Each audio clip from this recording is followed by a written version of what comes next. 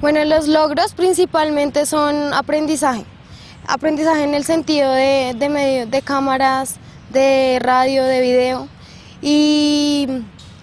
y el sentido de pertenencia y eh, digamos como la pena que, un- que antes a uno le daba de, de expresarse frente a la gente. Entonces ya, ya se ve como una evolución a partir de eso, los cubrimientos que hacemos a las, a las diferentes actividades.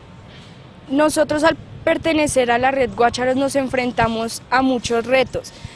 porque cuando uno empieza a pararse a una, eh, frente a una cámara, pues ya ahí es como el,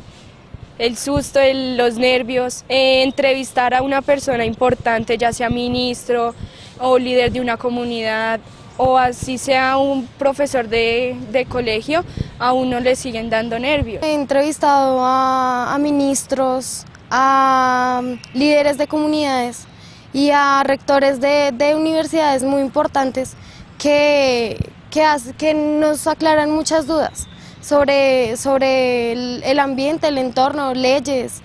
Entonces es, es muy enriquecedor, enriquecedor para todos nosotros que, que ellos aporten a nosotros algo de- de sus conocimientos. al ver lo que hacemos, ya sea en redes sociales o en eso, y ver que las personas sí se esmeran por, que muchas de las personas sí se esmeran por lo que nosotros hacemos, o si les gusta, o se intentan integrar a lo que nosotros hacemos.